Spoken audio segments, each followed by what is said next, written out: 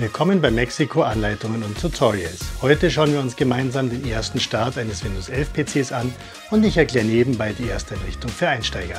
Los geht's! Für Fortgeschrittene gibt es Kapitelmarker und die Möglichkeit, die Wiedergabegeschwindigkeit zu erhöhen. Am Ende erkläre ich noch kurz, was ich bei einem neuen PC immer als erstes mache. Zuerst sehen wir das Herstellerlogo und wir werden um Geduld gebeten. Da es trotz SSD teilweise lange Wartezeiten gibt, kürze ich solche Momente fürs Video ab. Wir gehen das hier an einem Laptop mit vorinstallierten Windows 11 durch. Bei Desktop-PCs sieht es aber natürlich genauso aus. Jetzt sollen wir eine Sprache wählen und bestätigen mit Ja. Danach ist Windows 11 so schlau, schon mal Deutschland vorauszuwählen und wir müssen nur mit Ja bestätigen. Nun zum Tastaturlayout. Ich lasse hier Deutsch ausgewählt. Wenn wir zum Beispiel Englisch wählen würden, dann käme beim Drücken der Z-Taste ein Y. Jetzt können wir noch ein zweites Tastaturlayout hinzufügen. Das macht zum Beispiel dann Sinn, wenn man häufig englische Texte schreibt und das Zehn-Finger-Tippen blind beherrscht. Ich klicke auf Überspringen. Hier muss man sich jetzt mit einem WLAN-Netzwerk verbinden. Außer man hat ein LAN-Kabel in den PC eingesteckt, dann entfällt dieser Schritt. Ich klicke mein WLAN-Netzwerk an und dann auf Verbinden. Danach muss ich mein WLAN-Passwort eingeben. Wenn du dieses Passwort nicht selbst bestimmt hast, dann findest du es normalerweise auf deinem WLAN-Router oder in den Unterlagen vom Internetanbieter. Meist ist da irgendwo ein Aufkleber mit dem Namen, also der sogenannten SSID des Netzwerks und dem Kennwort. Oft betitelt als WLAN-Netzwerkschlüssel WIP oder WPA2-Schlüssel oder so ähnlich. Tipp: Fotografiere den Aufkleber vom WLAN-Router ab, dann kannst du das Passwort leichter am PC eintippen danach auf Weiterklicken und warten, bis sich der PC mit dem WLAN verbunden hat. Dann nochmal auf Weiterklicken. Jetzt prüft Windows 11, ob es schon Updates zu installieren gibt. Falls es welche findet, werden sie gleich installiert und der PC startet sich zwischendurch mal neu. Im Prinzip läuft die erste Einrichtung bisher genauso ab wie unter macOS. Nun muss man natürlich noch dem Lizenzvertrag zustimmen. Ist ja bei jeder Software so. Hast du sowas schon mal gelesen? Schreib's gerne in die Kommentare. Jetzt muss man sich mit einem Microsoft-Konto anmelden. Das ist wie ein Google-Konto oder eine Apple-ID, nur eben von Microsoft.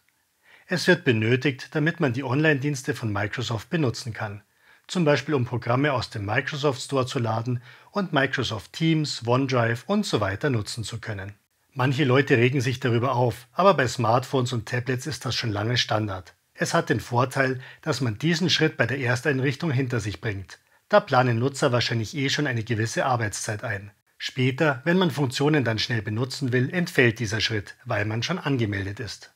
Manche befürchten hier ja Spionage, da kann ich dich aber beruhigen. Um ausspioniert zu werden, braucht man kein Benutzerkonto. Das klappt schon immer ganz wunderbar ohne extra Anmeldung. Du hast übrigens schon ein Microsoft-Konto, wenn du bei Skype, Xbox, Outlook.com, Microsoft Teams, OneDrive, Office 365 oder anderen Microsoft-Diensten registriert bist. Falls das so ist, gibst du die registrierte E-Mail-Adresse hier ein. Die muss übrigens nicht von Microsoft sein. Das kann genauso eine Gmail, T-Online oder sonst was Adresse sein. Dann klickst du auf Weiter und gibst dein Kennwort ein. Falls du die Zwei-Faktor-Authentifizierung aktiviert hast, musst du zusätzlich noch einen Sicherheitscode eingeben, ähnlich einer Mobile TAN beim Online-Banking. Ich tue jetzt mal so, als hätte ich noch kein Microsoft-Konto und klicke auf Dann erstellen Sie jetzt eins. Hier könnte ich eine bereits vorhandene E-Mail-Adresse eingeben, auch von einem beliebigen Anbieter, AOL, Yahoo oder sonst was. Alternativ könnte ich sogar eine Telefonnummer verwenden. Ich klicke aber auf Neue E-Mail-Adresse anfordern. Dann bekomme ich eine gratis Mail-Adresse von Microsoft. Die muss man auch nicht als E-Mail-Adresse verwenden. Wenn man will, kann man sie nur fürs Microsoft-Konto benutzen. Ich habe zum Beispiel auch ganz viele verschiedene E-Mail-Adressen für verschiedene Zwecke. Privat, geschäftlich, Online-Shopping, Social Media, Apple-ID und so weiter. Ich versuche jetzt mal, ob mexico.outlook.de noch frei ist. Leider nicht. Vielleicht mit einer anderen Endung. Auch nicht. Dann schreibe ich noch Anleitungen dazu. Und jetzt klappt's endlich. Schreib mir nicht an die Adresse, ich werde sie wohl nie abrufen. Jetzt muss ich natürlich noch ein Passwort vergeben.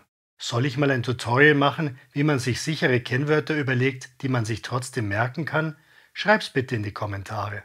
Werbung von Microsoft möchte ich nicht, also setze ich kein Häkchen und klicke auf Weiter. Nun soll man seinen Namen eingeben. Microsoft kann nicht überprüfen, ob das stimmt, was man da eintippt. Ich schreibe trotzdem meinen echten Namen rein. Das macht zum Beispiel für Microsoft Teams Sinn oder wenn man im Microsoft Store einen gültigen Kaufvertrag abschließen will. also wenn man dort ein Programm kauft. Danach wollen sie noch das Land und meinen Geburtstag wissen. Das macht für Microsoft aus Marktforschungssicht Sinn und vermutlich beeinflusst es auch, welche Spiele und Filme man im App Store angezeigt bekommt. Ich trage da jetzt einfach irgendwas ein und klicke auf Weiter. Nun wollen Sie noch eine alternative E-Mail-Adresse oder eine Telefonnummer wissen. Wenn du das Kennwort für dein Microsoft-Konto vergessen hast, bekommst du da einen Code hingesendet. Den brauchst du dann, um ein neues Kennwort zu erstellen und dein Microsoft-Konto und damit deinen PC wieder nutzen zu können. Ich trage da eine von meinen anderen E-Mail-Adressen ein und klicke auf Weiter.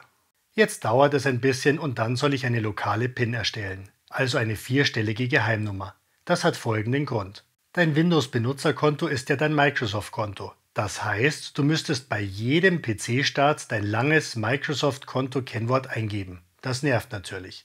Deswegen kannst du hier einen kurzen Code erstellen, mit dem du dich lokal, also nur auf diesem PC, bei deinem Microsoft-Konto anmelden kannst.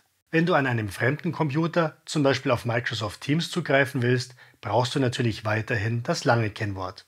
Falls dein PC Gesichtserkennung oder einen Fingerabdruckscanner hat, dann kannst du das jetzt auch einrichten. Das ist dann gleichwertig mit der PIN, nur eben ohne Tippen. Wenn dir Zahlen zu wenig sind, dann kannst du hier ein Häkchen setzen und die PIN komplizierter machen. Jetzt noch mit OK bestätigen. Hier legt man fest, ob Programme von Microsoft und Apps aus dem Microsoft Store den eigenen Standort verwenden dürfen, zum Beispiel um Cafés in der Nähe oder das passende Wetter anzuzeigen. Wenn du irgendwelche Software von irgendeiner Internetseite installierst, muss sich die übrigens nicht an diese Einstellungen halten. Hier kann man die Mein Gerät suchen Funktion aktivieren. Das ist so ähnlich wie Wo ist bei Apple-Geräten also eine Möglichkeit, verlorene oder gestohlene Geräte wiederzufinden und zu sperren, damit der Dieb nicht auf die persönlichen Daten zugreifen kann. Ich finde, das macht bei mobilen Geräten durchaus Sinn. Dieser Laptop wird aber mein Büro nicht verlassen und wird auch keine spannenden Daten enthalten.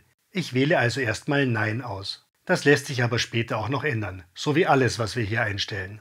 Nun möchte Microsoft noch Diagnosedaten zur Produktverbesserung haben. Dazu hast du zwei Auswahlmöglichkeiten. Nur erforderlich sendet möglichst wenig Daten.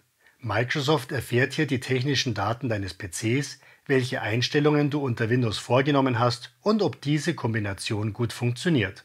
Optional einschließen sendet mehr Daten. Microsoft erfährt zusätzlich zu den technischen Daten auch noch, wie der PC verwendet wird. Also zum Beispiel, wenn dein PC abstürzt. Dann wird danach ein Bericht an Microsoft gesendet. Der enthält die technischen Daten deines Computers, welche Einstellungen du in Windows geändert hast, welche Programme du benutzt hast, welche Websites geöffnet waren, wie viel Speicher belegt war und so weiter. Egal was du auswählst, die Daten sind laut Microsoft anonym, also nicht mit dir als Person verbunden. Manche Leute glauben das nicht, aber glauben die dann, dass sich Microsoft an das hält, was man hier einstellt? Das könnte ja auch nur Augenwischerei sein. Eigentlich müssten diese Leute dann auf Linux umsteigen. Da dies ein Bastel-PC ohne wichtige Daten ist, bin ich da heute mal großzügig. Jetzt wollen Sie auch noch Hilfe bei der Verbesserung der Sprach- und Handschrifterkennung. Sie wollen also vergleichen, was du gesagt oder geschrieben hast und was Ihr eigenes System erkannt hat. Wenn die Erkennung nicht gut funktioniert hat, wollen Sie so herausfinden, woran es liegt und es verbessern.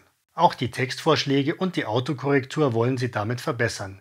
Wenn also zum Beispiel viele Leute Bachstraße München tippen, dann merkt sich das System das.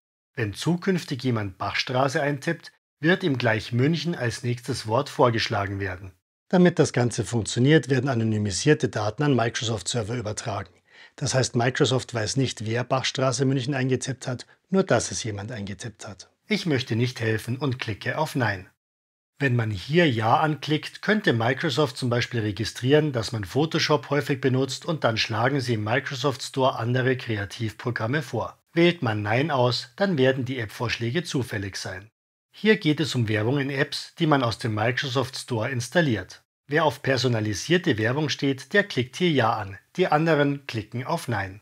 Dadurch wird es unwahrscheinlicher, dass man in Apps wochenlang Werbung für Dosenkohl sieht, nur weil man einmal das Wort Dosenkohl gegoogelt hat. Hier soll man nun auswählen, für welche Zwecke man seinen PC verwenden möchte. Ich klicke jetzt mal auf Kreativität und bekomme dann höchstwahrscheinlich im Microsoft Store Werbung für Photoshop und ähnliche Programme angezeigt. An deiner Stelle würde ich das einfach überspringen, dann wird die Werbung zufälliger sein. Falls du dich übrigens fragst, was alle so schlimm an personalisierter Werbung finden. Ganz einfach, Werbung funktioniert. Wenn du ständig Werbung für etwas siehst, was dich interessiert, dann wirst du es auch haben wollen. Und du hast auch kaum noch Chancen, einen Wunsch zu vergessen, weil er dich überall hin verfolgt. Das endet entweder im sinnlosen Konsum oder in großer Unzufriedenheit, weil du dir das alles nicht leisten kannst. Nun schlägt Microsoft vor, deine Dateien zusätzlich in OneDrive zu sichern, also dem Cloud-Dienst von Microsoft. Das bedeutet, dass deine Daten ganz normal auf deinem PC gespeichert werden aber alles wird zusätzlich auch auf einen Microsoft-Server hochgeladen und dort gesichert. Änderst du etwas, zum Beispiel an einem Word-Dokument, werden diese Änderungen bei jedem Speichern auch auf dem OneDrive-Server aktualisiert. Internetverbindung vorausgesetzt. Löschst du eine Datei von deinem PC, werden sie auch aus deinem OneDrive gelöscht. Standardmäßig werden nur die Ordner Desktop, Dokumente und Bilder synchronisiert. Das lässt sich aber nachträglich auch noch für andere Ordner auswählen. Diese Funktion ist durchaus praktisch, zum Beispiel wenn du mehrere Computer mit dem gleichen Microsoft-Konto benutzt. Dann hast du immer die gleichen Daten auf jedem deiner PCs. Oder wenn dein Haus abbrennt, dann hast du ein Backup deiner Daten auf einem Server, nicht nur auf einer ebenfalls verbrannten externen Festplatte. Gratis enthalten sind 5 GB Speicher. Wenn du mehr brauchst, kannst du ein Jahresabo dafür abschließen. Also im Prinzip alles wie bei Apples iCloud, das ich gern auf meinen Geräten nutze. Hier brauche ich es nicht, ist wie gesagt nur ein Bastel-PC. Deswegen klicke ich auf Dateien nur auf diesem PC speichern, also OneDrive nicht benutzen. Dieses sogenannte Geschenk ist einfach nur Werbung in Form von Testversionen. Du bekommst damit ein einmonatiges Gratis-Abo für die Office-Programme von Microsoft, also Word, Excel, PowerPoint und 1 Terabyte OneDrive Cloud-Speicher. Danach kostet es 99 Euro pro Jahr. Ich brauche die Office-Programme und den OneDrive-Speicher nicht und klicke deswegen auf Ablehnen. Wer beruflich oder für die Schule Word und so weiter braucht, kann das natürlich machen. Ich persönlich würde dann aber lieber einen Product Key bei einem seriösen Online-Händler kaufen. Das ist meist günstiger. Zum Beispiel bei den Prime Days kann man da oft ein Schnäppchen machen. Hier gibt es jetzt noch eine Zusammenfassung, die mit weiter bestätigt werden kann. Dieser Bildschirm wurde wohl von Dell eingebaut. Da ich weder die McAfee Antivirus-Testversion noch Werbung von Dell haben will, lasse ich die Häkchen alle weg und klicke auf Weiter. Jetzt dauert es trotz SSD und modernem Prozessor eine kleine Ewigkeit, bis Windows 11 das erste Mal startet. Ich kürze das ab. So, da ist Windows 11 nun also, inklusive Werbung für Dienste und Apps. Die Computerhersteller und Microsoft bekommen übrigens Geld dafür, dass sie solche Icons platzieren und Testversionen vorinstallieren. Das ist nichts anderes wie eine interaktive Werbeanzeige. Da ich das hasse, ist meine erste Amtshandlung bei einem neuen PC immer das Deinstallieren von nicht benötigter Software. Also im neuen Startmenü auf Einstellungen klicken, dort dann Apps auswählen, auf Apps und Funktionen klicken und dann schauen wir mal, was da schon alles installiert ist. Manches davon ist sinnvoll, anderes will ich vielleicht mal ausprobieren. Aber ich weiß jetzt schon, dass ich die Microsoft Office Programme nicht brauchen werde. Deswegen klicke ich auf die drei Punkte und wähle Deinstallieren aus. Das muss ich dann noch gefühlt 100 Mal bestätigen und dann wird das ausgewählte Programm entfernt. Und tatsächlich dauert das unter Windows 11 noch genauso ewig wie unter allen anderen Windows-Versionen auch. Am Mac gibt es keine vorinstallierte Werbesoftware und die Deinstallation von Programmen geht so schnell wie das Löschen eines Word-Dokuments. Zumindest einen dieser Vorteile hätten Sie auch noch kopieren können. Naja, und so mache ich das nun mit jeder Sprachversion von Office und mit allen anderen Apps in dieser Liste, die ich vermutlich nicht benutzen werde. Das hat drei Gründe. Erstens wird die Liste der Apps übersichtlicher. Zweitens spart es Speicherplatz und drittens erspart es mir die Installation von Updates für Apps, die ich sowieso nie verwende. Die Werbesymbole von Amazon, Disney Plus und so weiter lassen sich hier übrigens nicht entfernen. Auf denen macht man im Startmenü einen Rechtsklick und wählt Deinstallieren aus. Systemrelevante Apps lassen sich nicht deinstallieren. Und falls du eine dieser Gratis-Apps doch wieder haben möchtest, kannst du sie bestimmt kostenlos im Microsoft Store herunterladen.